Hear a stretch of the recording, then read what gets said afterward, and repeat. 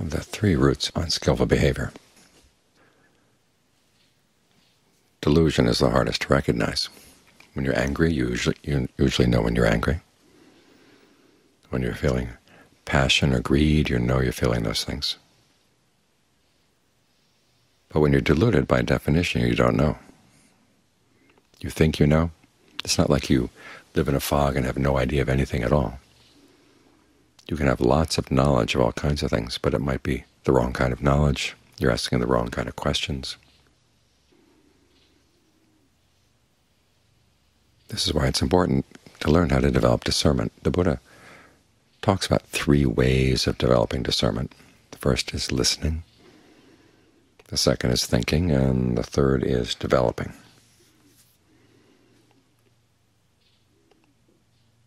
Listening means finding people who are wise and listening to what they have to say, and also listening to their examples. In other words, try to notice how they do things. And you notice when you listen to them that one of the big issues for them is what's skillful and what's not. Just learning how to focus on that issue right there is really important. We're concerned with our actions, where the actions come from, where they go. And one of the ways that the Buddha's teachings is really distinctive is that it's focused on seeing everything in terms of cause and effect, action and result. Even our beliefs about things, what we are, what the world is outside. The Buddha recommends that you look at them as beliefs, as actions. In other words, the focus is not so much on the thing, but it's what your belief about the thing will lead you to do, and what the results of that kind of action will be. So if you have certain beliefs about yourself, it'll have an impact on your actions. Even something as simple as a breath. We're sitting right here with a breath. You have certain beliefs about the breath. For me, one of the most liberating lessons in meditation was reading Ajaan Lee's description of breath and realizing it's not just the air coming in and out of the lungs. It's a flow of energy throughout the body. Having that concept really helped a lot. Prior to that time, I'd be focusing right at the nose and get headaches every time I meditated. So it's useful to read up on what's skillful and what's not, and how to work with the mind and how to work with skillful actions in general, because it gives you a body of concepts.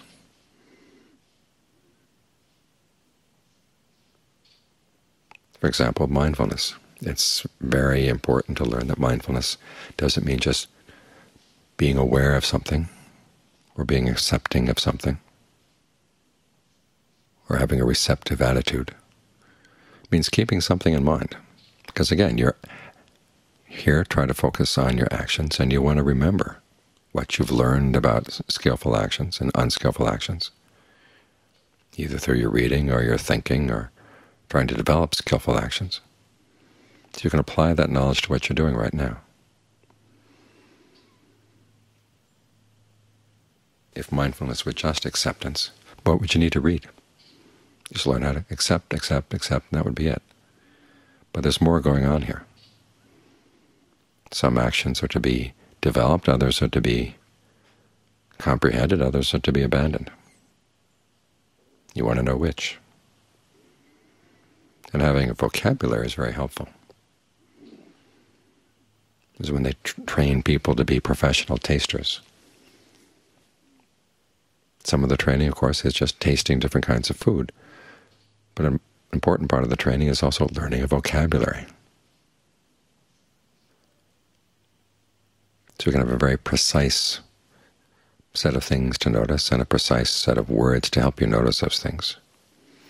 This and a lot of the Buddhist teachings on, say, the aggregates, the foundations of mindfulness, or the establishings of mindfulness, or as various lists of the qualities that are important to develop. These alert you to things going on in your mind that you might not have noticed before. This is one of the reasons why it's useful to to study, to read up on what the Buddha has to say, particularly about the wings to awakening, which he said were his central teachings.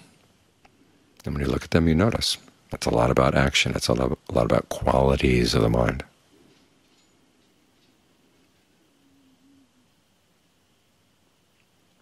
That helps give some focus to your discernment.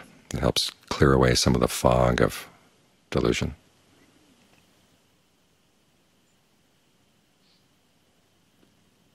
Then the next step is to think about these things. See what seems reasonable, what doesn't seem reasonable. And again, when you're dealing with an example in another person, you think about that person's actions, think about that person's words. Where do they fit? Where do they not fit? You want to hang around people who are skillful in the way they talk and act and think. But you have to realize that there's nobody perfect. So you have to learn how to use your powers of observation to see what's useful to pick up from this person and what's not.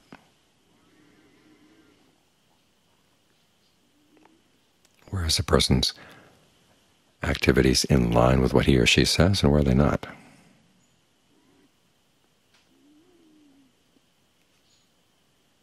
Then the third way of developing discernment to clear away more delusion is to actually try to develop these qualities in yourself. This is one of the themes you see again and again in the forest tradition, that it's through right effort that our wisdom really develops. And Ajaan Maha Boowa's example is of someone who's learned military science, and you can learn all kinds of things. You can have diagrams on the blackboard and have read up on all the different military campaigns in the past. But when you actually get into a battle, it's a very different experience than how you're going to get out alive. It's going to depend not only what you've learned from the books, but also on your own ingenuity, because you'll come up with problems you didn't think of before, and you'll find that your perspective is very different. It's like reading all those koans in the Zen tradition. We're sitting on the outside and we see the stupid student coming up to the master, and the stupid student says something, and the master says something very wise, and the student doesn't get it. We're outside of this situation. It's easier easier for us to get it because we've been primed. This is a koan. But the student was living in a situation. He thought it was just an ordinary, everyday situation. He wasn't alert, alert to the fact that he was going to be stepping into a koan that day. And he really did have a blind spot. It was up to the master to see the blind spot and to try to point it out to the student in a way that the student would not be prepared for. In other words, he didn't have his defenses up.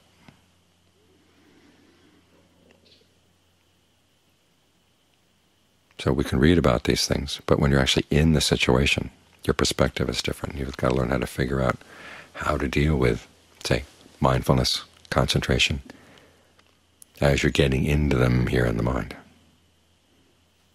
trying to make them grow.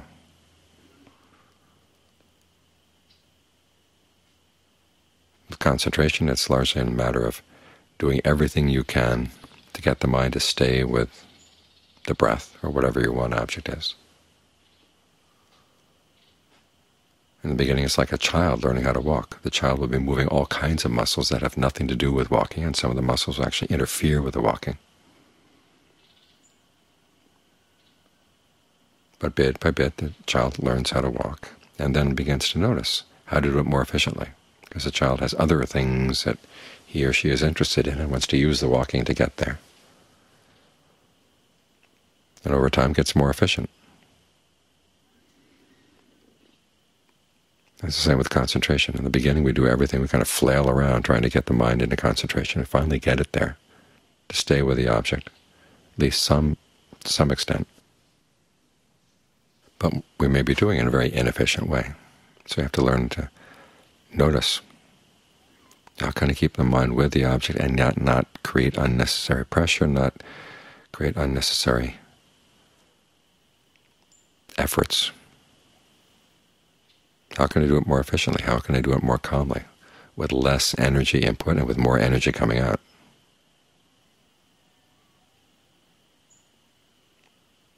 In other words, you focus on the concentration again as an action. What are you planning to do? How are you doing it? What are the results? If the results aren't good. Go back and look at how, what your plan is. Look at your actions. Keep your focus here. And begin to see that certain perceptions are getting in the way. Okay, you can drop the perception or change the perception. Again, that issue with the breath.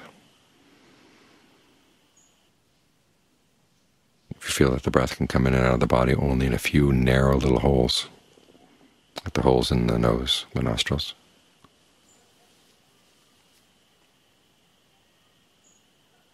it's going to feel very confined. And if you think of it coming in and out all your pores, and can hold that image in mind, the breath is a lot more refreshing. It comes more easily. And you begin to notice, okay, your perception, your beliefs about things do shape what actually happens. So all three of these aspects of gaining discernment, listening, or i.e. listening and reading and watching, thinking, and then developing. They all work together to keep you focused on what you're doing and what you can learn how to do it well.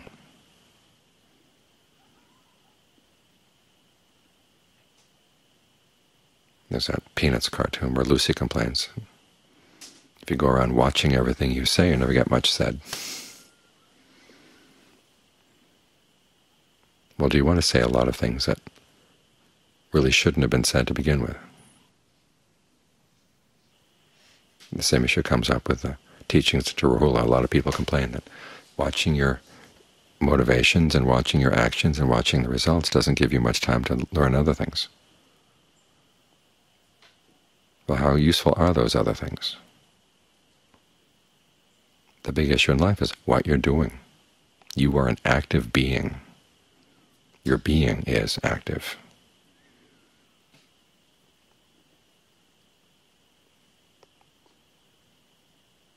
That's what you're all about. So you want to learn how to do it well. Focus on that issue. And simply keeping that issue as primary and learning how to compare what's working well, what's not. That's how you clear up a lot of delusion.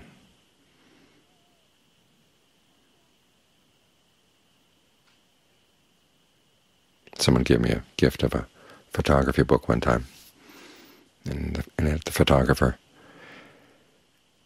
would have two pictures very similar of a particular scene, and he was pointing out why one picture was better than the other. It was probably one of the most educational books I ever got on photography, because one picture was good, but the other picture was really better. It's when you learn how to compare that your delusion goes away. And it's the same with your meditation. Learn how to compare different ways of breathing with other ways of breathing. Learn how to compare what it's like when you keep your mind focused on one spot as opposed to another spot. Learn how to ask questions like this, using what you've learned, what you've thought about, and the ingenuity that you've had to develop as you try to develop these qualities. And that's how you clear up your delusion.